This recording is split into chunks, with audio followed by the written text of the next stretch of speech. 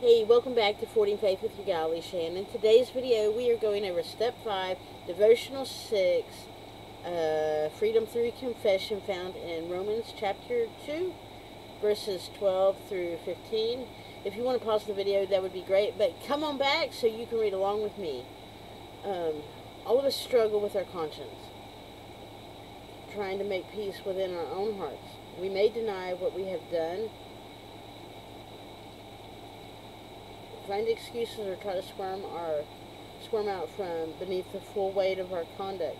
We may work hard to be good, um, trying to counteract our wrongs that we've done. We do everything we can to even out the score in, the, in order to put the past to rest. However, we must stop rationalizing our sins and admit the truth. We are all born with a built-in alarm clock that alerts us when we do wrong. God holds everyone accountable. Listen to this again. God holds everyone accountable. And in Romans 2, 14 and 15 it says they demonstrate that God's law is written in their hearts for their own conscience and thoughts either accuse them or tell them they are doing right. In step five, we step out. I mean, in step in step five, we set out to stop this internal struggle and admit that wrong is wrong. It's time to be honest with um, God and ourselves about our cover-ups, the exact nature of our wrongs. we need to admit the sins we have committed and the pain we have caused to others. We may have spent years constructing alibis, coming up with excuses after excuses, and trying to plea bargain our way out of things. But listen, it's time to come clean. It's time to admit what we know deep down inside to be true.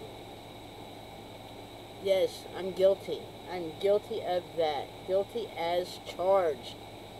there is no real freedom without confession. There is no real freedom without confession what a relief it finally is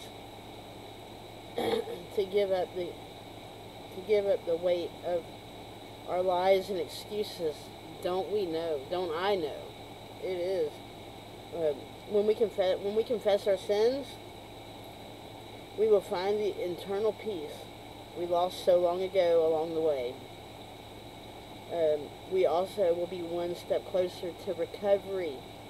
Um, if you like this video, uh, consider hitting the like button, subscribe to the channel, hit that notification bell so you won't miss any more devotionals in each step that we're doing here um, on Forwarding Faith. And until then, oh, yeah, our next devotional will be in Galatians 6, chapter 6, on page 1503. And until then, may you have a blessed day. Bye.